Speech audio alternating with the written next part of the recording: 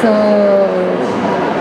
rezumi în uh, câteva minute cât am uh, la dispoziție.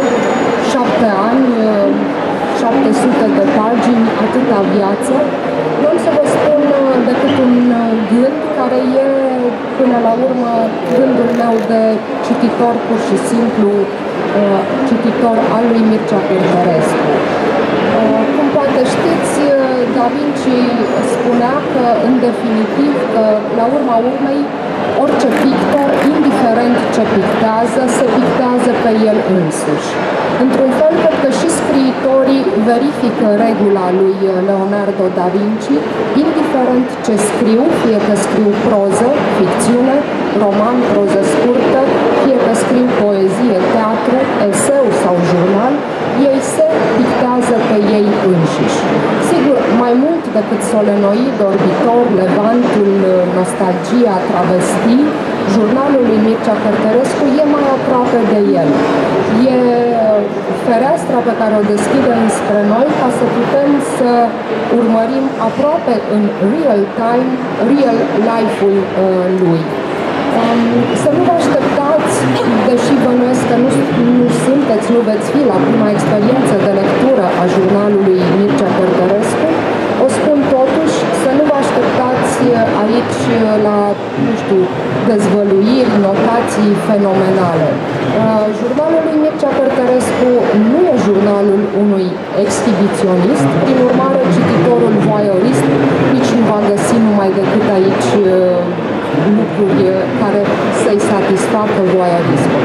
Este jurnalul unui scriitor și poate că, într-un fel mai mult decât atât, e jurnalul unui om care scrie. Acesta e titlul celui de-al patrulea volum și e un titlu îndelung acoperitor în toată modestia lui.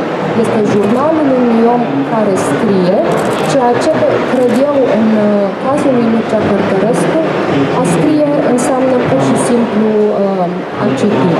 E un privilegiu, cum spuneam, pentru noi să avem acces la aproape, uh, dacă vreți, o ecografie, un remene. Suntem acolo în spatele peretelui de sticlă din uh, dintr-un laborator și putem vedea ce gândește, ce simte, ce citește, ce cafea bea dimineața dacă o bea și nu se ceartă cu ea, uh, un, uh, un scriitor.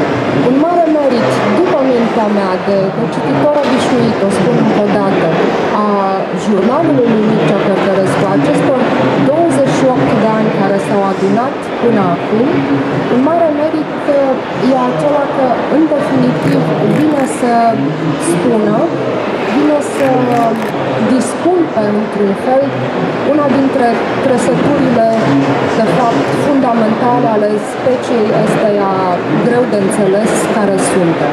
Paradoxalitatea. Suntem un ghem de contradicții.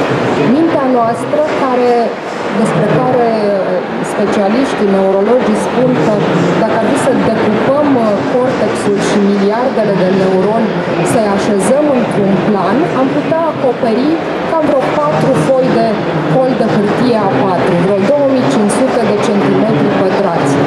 Ei, asta nu e mare lucru, imaginea în sine nu te înfricoșează, nu te impresionează să te iei uh, mintea cuiva să o așezi în patru coli de hârtie.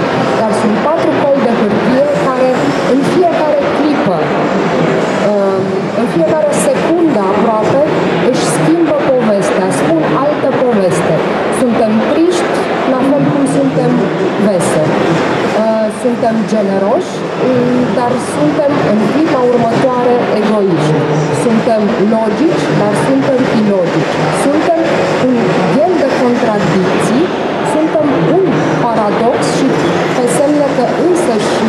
existența noastră în lume e un paradox.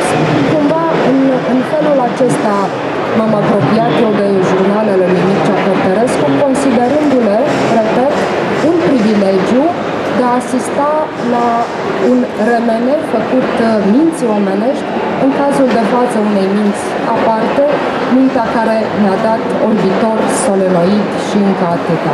Mai mult din jumătatea de oră pe care o avem la dispoziție nu mă îndur să, să fur și trec microfonul înspre Marius Chivu și apoi înspre Mircea Cărtărescu. Mulțumesc, Lidia!